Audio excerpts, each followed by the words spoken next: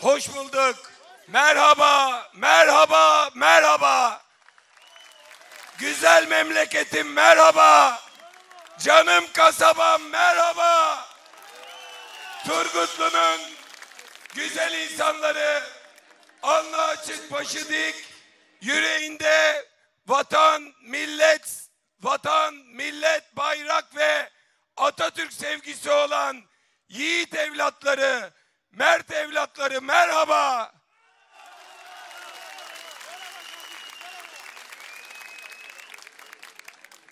...15 yıldır sizlerle beraber çeşitli görevlere adaylıklarla elimizde mikrofon, bazen otobüsün üstünden, bazen sahneden, bazen il başkanlığının, ilçe başkanlığının balkonundan, bazen bir kahvede, bazen ilçemizde bayramlaşmada bir masanın etrafında ama yıllardır el eleyiz, kol kolayız, omuz omuzayız, gönül gönüleyiz. Ve bugün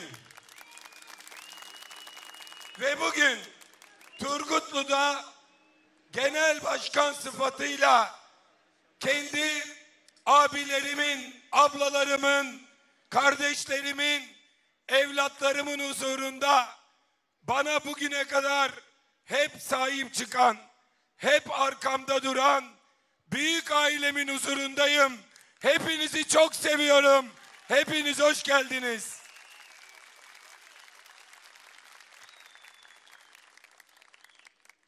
Bir yerel seçim sürecindeyiz. Zorlu bir süreçteyiz ve kampanyanın yarın son günü. Bu kampanya boyunca yaptığımız tam 104. miting. Bütün Türkiye'yi gezdik, dolaştık, mitingler yaptık ama son mitingi yapacaksam, son bir yerde mikrofonu elime alacaksam orası elbette memleketim olmalıydı, elbette kasabamız olmalıydı.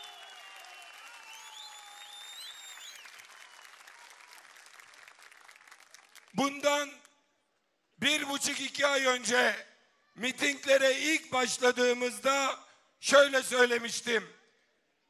Emekliler büyük ızdırap çekiyorlar. Büyük acı çekiyorlar. Buradalar mı dedim. Meydanın yüzde yirmisi kadarı ki toplumun da yüzde yirmisi kadarı emekli burada izlediler. Ben de dedim ki emekliler sesimi duyarsanız, sesime ses verirseniz, benimle birlikte olursanız, meydanları doldurursanız, sizin sesinizi duyuracağım, sizin hakkınızı mutlaka alacağım. Şimdi kendi memleketimde soruyorum. Emekliler ellerini kaldırsın bir bütün Türkiye görsün. Bayrakları indirin, elleri sallayın görsünler. İşte emeklilerin gücü. İşte Türkiye'nin en kalabalık ordusu, en kalabalık korusu ve en acıklı şarkıyı söylüyorlar.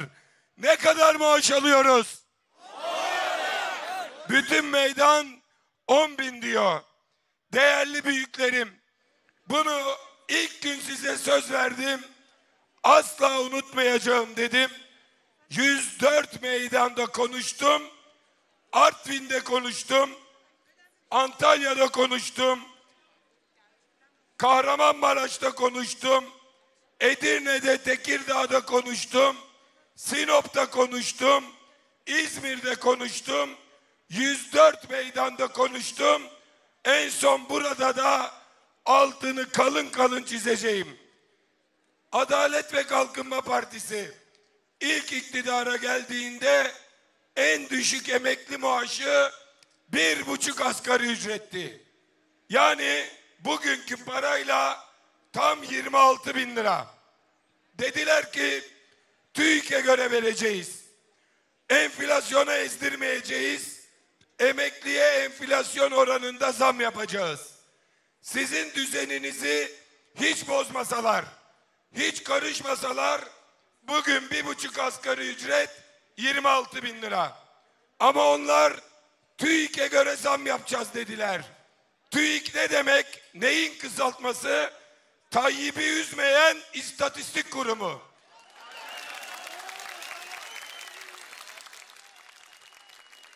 O yalancılar Tayyip Erdoğan'ı üzmediler ama emekliyi üzdüler. Emeklinin hakkını yediler. Emeklinin hakkına geçtiler. Son sene enflasyon yüzde 120 gerçek enflasyon. TÜİK 68 hesaplamış. Tayyip Bey size yüzde 33 zam verdi. 7500 lirayı 10 bin lira yaptı. İlk Tayyip Bey geldiğinde en düşük emekli maaşı 8 çeyrek altın alıyordu. 8 çeyrek altın. İnanmayan ilk kuyumcuya girsin sorsun. Bugün 10 bin lira olan en düşük emekli maaşı sadece iki buçuk çeyrek altın alıyor. Yani emekliler her ay beş buçuk çeyrek altın kayıptalar. Bir emekli cebinden bir çeyrek altın düşürse aklı çıkar bütün kasabada onu arar öyle değil mi? Bir emekli değil bütün emekliler bir çeyrek altın değil beş buçuk çeyrek altın bir sefer değil her ay kaybediyorlar. Bir şey yitirildiği yerde bulunur. Gider ararım dediniz ya. Nerede kaybettik? Biz bunu bir seçim sandığında kaybettik. Nerede buluruz? Aynı yerde buluruz. Pazar günü sandık başına gitmeye ve hakkınızı aramaya hazır mısınız? İşte umut bu sestedir. Umut bu birlikteliktedir. Bakın altı yıldır ki memleketimden bir selam yollayalım. Türkiye'nin dört bir yanından yolladık. Bir de memleketimden yollayalım. 2015 yılında biri çıktı ve dedi ki emeklilere iki bayramda birer ikramiye. Kim diyor? Kemal Kılıçdaroğlu. Bir yürekten bir alkış yollayalım. Sayın Genel Başkanımıza. O gün dediler ki veremezsin. Kaynak yok. Biz veririz dedik. Onlar verilemez dedi. 7 Haziran'da çoğunluğu kaybettiler. 1 Kasım geldiğinde biz de vereceğiz dediler. Yıl 2015. Üstünden 3 yıl, 3 Ramazan, 3 kurban, 6 bayram geçti. Hakkınızı vermediler. 2018 seçimlerinde tamam vereceğiz dediler. Ama biz birer maaş diyorduk. Sadece bin lira verdiler. Biz o bin lirayı beğenmedik. İtiraz ettik. O beğenmediğimiz bin lira tam 24 kilo dana kıyma alıyordu. 2018 yılında Ramazan bayramından önce verilen emeklilere bayram ikramiyesi 24 kilo kıyma alıyordu. Kıyma 42 ile 46 liraydı. 24 kilo kıyma alıyordu. Bugün pazartesi, salı, çarşamba bayram ikramiyeleri yatacak 3 bin lira. Alın 3 bin lirayı gidin kasaba 6 kilo kıyma alıyor.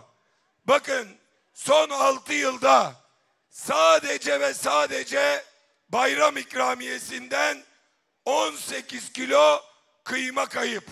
Bugün bir kilo kıyma için sabah 5'te insanlar kuyruğa giriyorlar yarı fiyatını almak için İstanbul'da, Ankara'da, Aydın'da belediyemizin halk kasaplarının önünde bir kilo verebiliyoruz. Oysa 18 kilo kıyma sizin olan elinizden alınmış. Ve 30 Ramazan, 30 iftar, 30 sahur sofrasında, bayram sofrasında, çoluğunuzun çocuğunuzun davetli olduğu bayram sofrasından 18 kilo kıymayı almışlar çalmışlar. Bu yüzden emeklilerin ömürleri çalışmakla geçen, alnının terini akıtan, kimi toprağa akıttı, kimi tezgaha akıttı, kimi kara tahtalar önünde öğrenci yetiştirdi, kimi soba yaktı, kimi çöp topladı, kimi vergi topladı, kimi polisti canını ortaya koydu ama karınca gibi çalıştınız. Ve en rahat edeceğiniz güne gelince birileri hakkınızı elinizden aldı. Şimdi yine karıncalar gibi bir arada durmak, yan yana durmak, peş peşe yürümek lazım.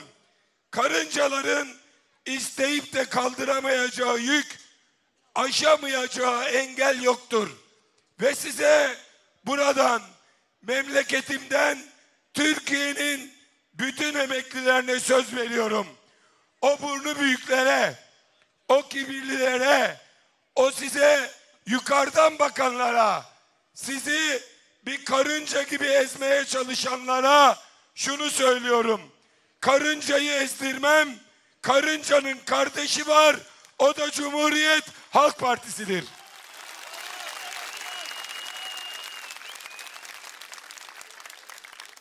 Burası aynı zamanda alnının terini toprağa damlatıp o topraktan bereket fışkırtan, o bereketle çoluğunu çocuğunu geçirmeye çalışan bağcıların, üzüm üreticilerinin, bu ovaya emeğini verenlerin memleketi. 4 liralık mazot 19 olduğunda isyan ettik, düşüreceğiz dediler. Geçen sene Mayıs ayında 19 lira olan mazotu 45 liraya çıkardılar. 45 liraya. Destekleme hakkınız yüzde birlik hakkınızla 260 milyar destekleme verilecekken 80 milyar veriyorlar. Hakkınızı beşli çetelere, saray müteahhitlerine, İliç'teki altın madeninin silinen vergilerini harcıyorlar. Biz milletin efendisidir diyerek birinci cumhurbaşkanımızın nitelediği köylüleri, çiftçileri, hayvancılıkla uğraşanları bu iktidarın zulmünden kurtaracağız. Bugünlerde yerel seçim mitikleri yaptık.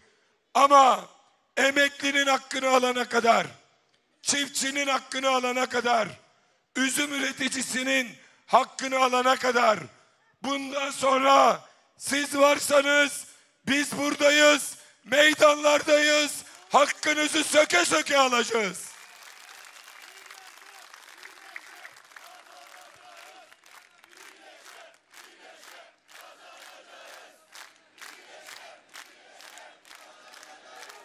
Buradan şunu söylemek isteriz ki 31 Mart seçimleri elbette birer yerel seçimdir.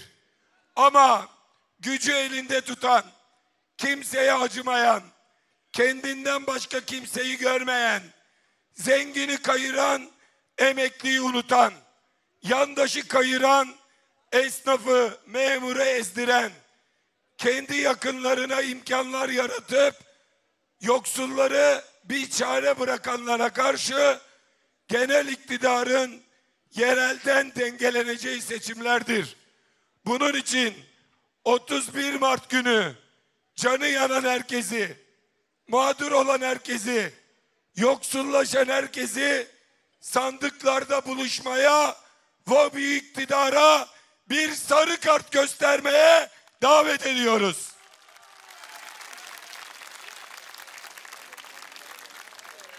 Kampanya boyunca geldiler gittiler. Son gün haklarını vermeden olmaz. Staj mağdurları var. Çıraklık mağdurları var. İşe orada mısınız? Bir yapın alkışı duyalım. Staj mağdurları orada.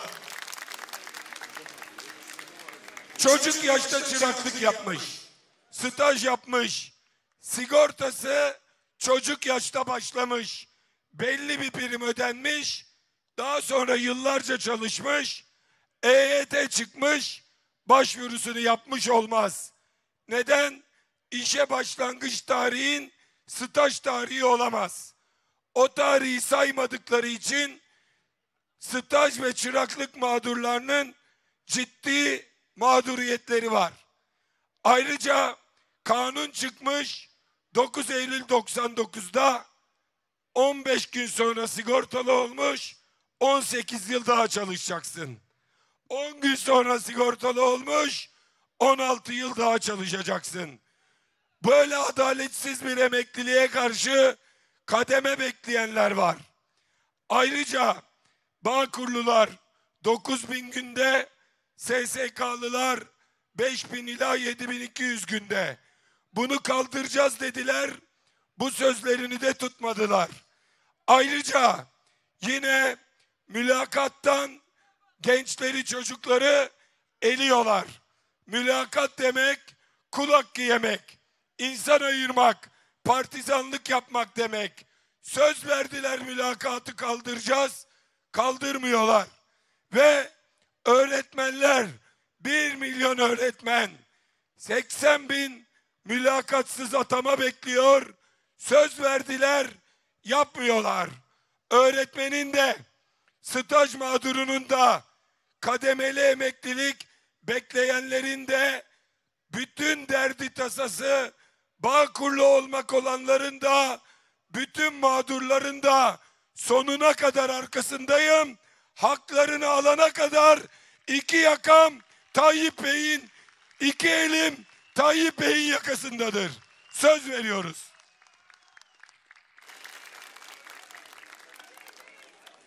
Buradan buradan geleyim Oradakilere bakmayacağım. Kameraya girmiyorlar, hep arkaya saklanıyorlar. Şimdi tabii şöyle bir şey söylemem lazım. 31 Mart seçim. Meydanda bulunan herkes bizim canımız ciğerimiz. Ama hepimizin göz bebeği gençlerimiz. Gençler şu bir el kaldırın bakalım gençler. Gençler bir el sallayın. Bu gençler bu gençler her şeyin en güzelini hak ediyorlar. Ama 14-28 Mayıs'ta üzüldüler, kırıldılar. Gençlerin gelecek umutlarını kırıyor bu iktidar. Festivalleri yasaklıyor. Konserleri yasaklıyor. iş imkanlarını kısıtlıyor. Mülakatla insan ayırıyor. Okul bitiyor, atamalarını yapmıyor ve gençler umutlarını kaybediyorlar. Buradan bütün gençlere sesleniyorum. Umudunuzu kaybetmeyin. Şüphesiz hepiniz bizler kadar çok Gazi Mustafa Kemal Atatürk'ü seviyorsunuz.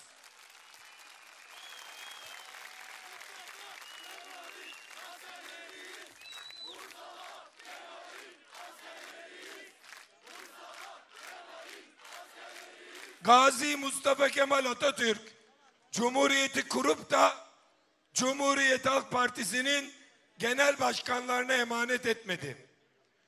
Milletvekillerine, belediye başkanlarına emanet etmedi. Askerdi, askere bile güvenmedi. Genel kurmay başkanlarına da emanet etmedi. Gazi Mustafa Kemal Atatürk dedi ki, Cumhuriyeti biz kurduk, onu yüceltecek ve yükseltecek sizlersiniz. Emanetim sizedir dedi gençler. Emaneti sizedir. Onun emanetine hep birlikte sahip çıkacağız. Partimizde bütün kademelerin yarısını kadınlarla, yarısını gençlerle, çok güçlü ekiplerle yeniliyoruz. Ailelerinizin umudu sizsiniz. Bu ülkenin umudu sizsiniz. Siz yılarsanız, siz pes ederseniz, siz vazgeçerseniz o zaman onlar kazanacak. Ama siz ayakta kalırsanız, siz emanete sahip çıkarsanız, siz demokrasiye sahip çıkarsanız hep birlikte kazanacağız ve en sonunda siz kazanacaksınız. Onun için bütün gençleri 31 Mart Pazar günü sandık başına gitmeye Cumhuriyetçi, Atatürkçü, ülkesini, vatanını, milletini seven belediye başkanlarına oy vermeye, geleceğimize sahip çıkmaya davet ediyorum.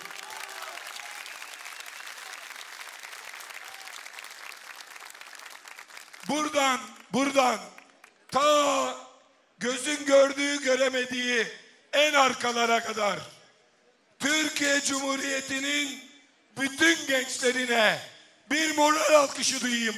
En kuvvetli alkış. Gençleri alkışlıyoruz. Gençleri. Sandıklara gelecek gençleri. Memlekete sahip çıkacak gençleri. Atatürk gençliğini alkışlıyoruz.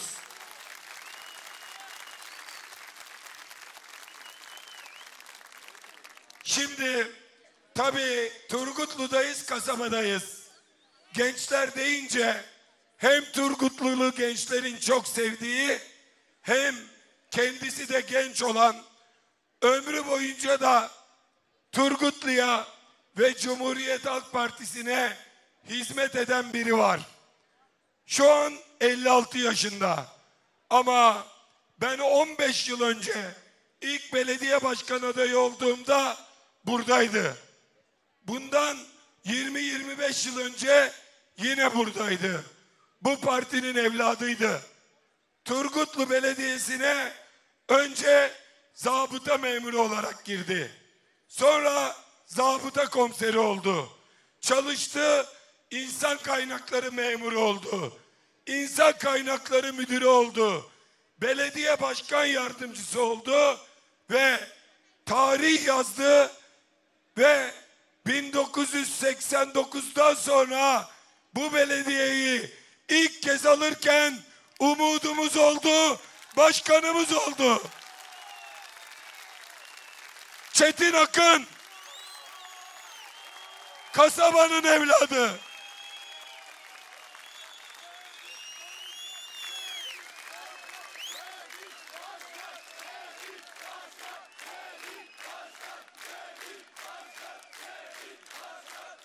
Geçen sefer onu o isterken diyorduk ki partisi CHP ama bütün partililerin adayı, bütün kasabanın adayı, Türküyle, Kürdüyle, Lazıyla, Çerkeziyle, göçmeniyle, kasabada doğana da, kasabada doyana da sahip çıkacak.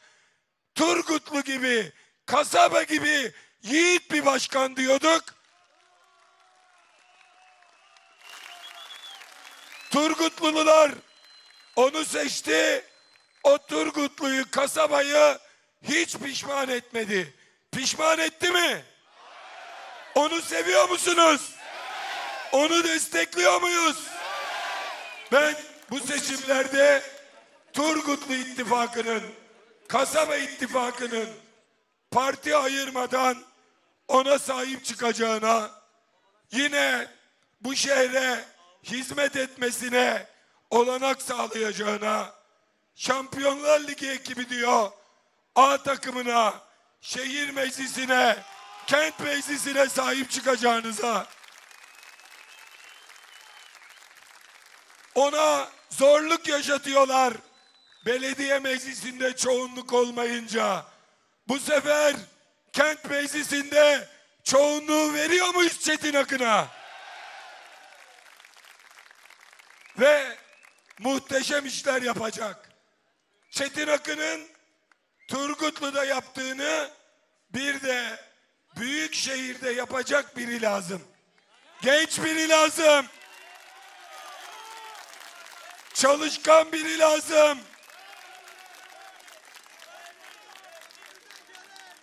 Manisa'nın bir evladı, genç bir mimar, Manisa'da yaşanan bütün kent suçlarına, evlendiğimiz evlendirme dairesini TÜGVA'ya verdiler. Ulu Parkımızı 100 yıllık ağaçları kesmeye kalktılar. beyaz filimizi yıkıp AVM yapmaya kalktılar. En ağaçlı tepeleri belediye başkanının kızına villa yapmaya kalktılar. Yoldaki yoldaki 5 katı 15'e çıkarıp Cengiz Ergün'ün içerideki arsalarına park üstünden bağlantı kurup 300 daire fazladan vermeye kalktılar. Cengiz Ergün Ulu Park'a baktı. Evlendirme dairesine baktı. Köy yollarına baktı. Beyaz file baktı. Hepsini ya ailesine ya yandaşlara verdi, verdi, verdi ama bir duvara tosladı. Bir baktı karşısında bizim Ferdi. Sütte leke var, Ferdi'de leke yok. Çalışkan, azimli, gayretli, hepimizin sevgilisi, Manisa'nın sevgilisi, bu memlekete gerek artık bir Ferdi Zeyrek.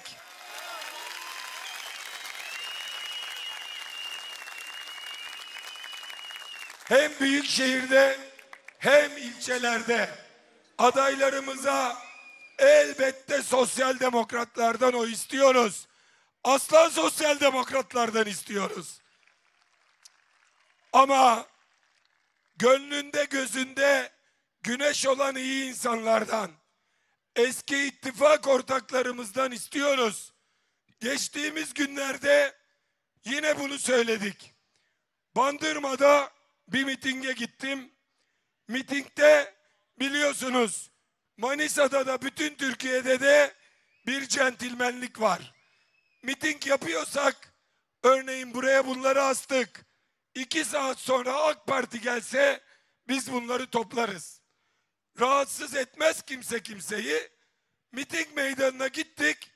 Bandırma'da Balıkesir'in adayı annesinin balkonuna bizlere hakaret eden, saray ağzıyla laf söyleyen, yok denmem diyen bir şey asmış. Dedik ki bu yakışık almamış, doğru değil dedik. Kimseye de kötü söz söylemedik. Sonra dün Meral Hanım çıktı. Diyor ki efendim birçok şey söyledi. Bana bütün gazeteciler bugün peşimde. Meral Hanım şöyle dedi, Meral Hanım böyle dedi. Ne cevap vereceksiniz? Ben tek itirazım biz miting yaparken Atatürk'ün partisine hakaret eden o afişeydi. Yoksa ben kampanya boyunca asla muhalefete muhalefet etmedim. Muhalefet liderlerine, adaylarına tek kelime söylemedim. Sayın abla diyeceğim demeyince abla de diyordu ama dün kızmış bana ablam abla demeyin demiş. Sayın Genel Başkanıma Sayın Genel Başkanıma söyleyeceğim şudur. İstedikleri kadar gelsinler. İstedikleri kadar sizi bile yanıltsınlar. Bize saldırsınlar. Bende kural şu. Eski dosttan düşman olmaz. Atatürkçü, cumhuriyetçi, vatansever insanlar birbirinden kavga etmez, birbirine çelme çakmaz, birbirine kötülük yapmaz. Ben Manisa'daki Turgutlu'daki bütün ilçelerdeki Şehzadeler Yunus Emre Türkiye'nin her yerindeki gözünde gönlünde güneş olan bütün iyi insanları çok seviyorum. Biz biriz, beraberiz. Evet.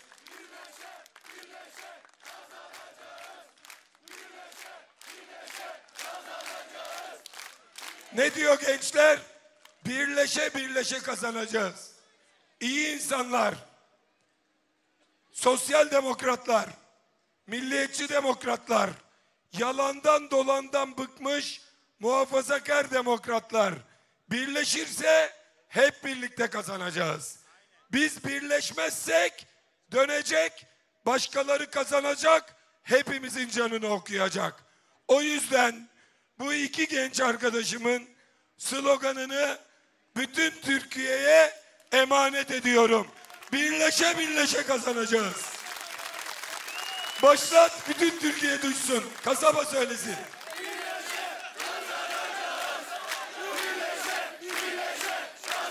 Hep beraber.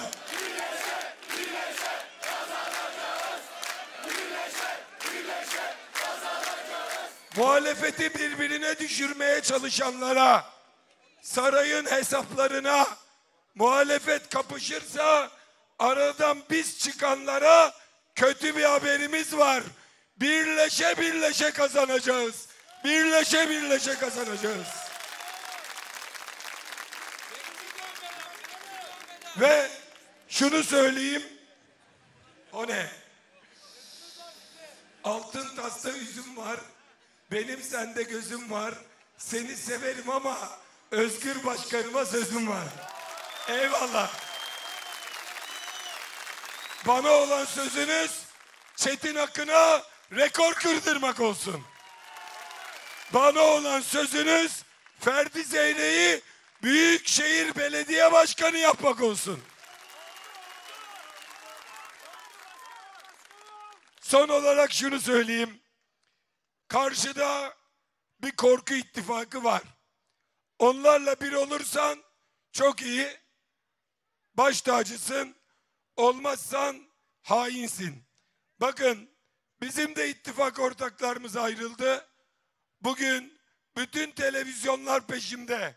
Meral Hanım'a bir cevap ver diye. Cevabım iki kelime.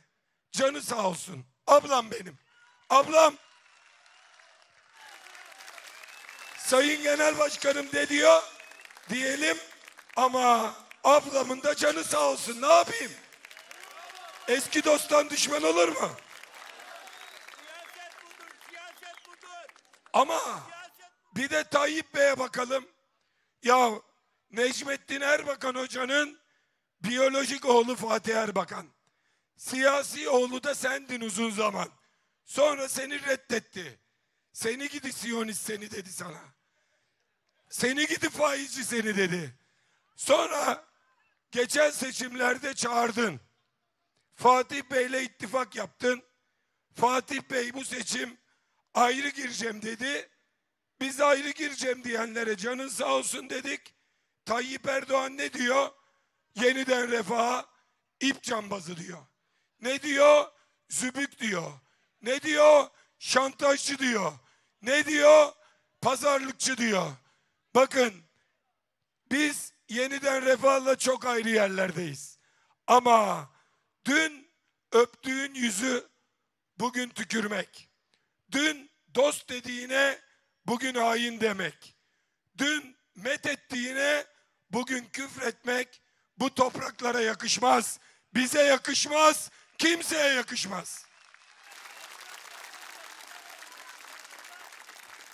Onun için karşımızdaki iktidar korku ittifakıdır. Tehdit ittifakıdır. Depremzedelere bile şantaj yapan bir kötücül akıl vardır orada. Oysa bizim ittifakımız adı üstünde Türkiye ittifakıdır. Bizim ittifakımız bizim ittifakımız gücünü milletimizden, renklerini bayrağımızdan alır.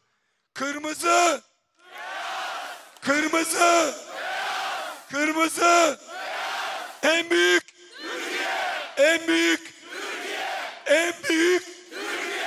Hepinizi seviyoruz. Kasabayı çok seviyoruz. Son son mitingdir. Son mitingdir. Seçim boyunca istemeden üzdüğümüz, kızdığımız kimse varsa, kırdığımız kimse varsa hakkını helal etsin. Gönlünden adaylık geçen olur, olmamıştır. Partisine sahip çıksın, inancını korusun. Bundan sonra bugüne kadar başta Turgutlumuza, partimizde ve tüm partilerde hizmet etmiş bütün büyüklerimize, geçmiş dönem milletvekillerimize, belediye başkanlarımıza, ilçe başkanlarımıza sevgiler, saygılar, minnetler sunuyoruz. Hayatta olmayanlara Allah'tan rahmet diliyorum. Nice seçimlere hep beraber kavuşmayı önümüzdeki bayramda iki bayramı birlikte yapmayı ümit ediyorum.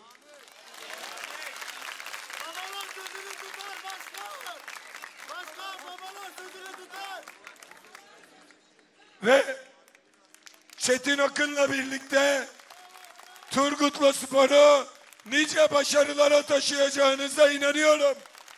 Yaşasın kasaba, yaşasın Turgutlu, yaşasın Manisa. Yolun açık olsun Çetin Başkan, yolun açık olsun Ferdi Başkan. Hepinizi yürekten selamlıyorum. Sağ olun, var olun.